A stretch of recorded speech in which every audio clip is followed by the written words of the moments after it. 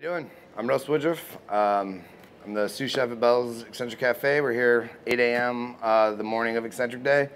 We've been kind of rolling around the clock, getting food ready to go. Um, we are giving away tons and tons of free stuff here at the pub.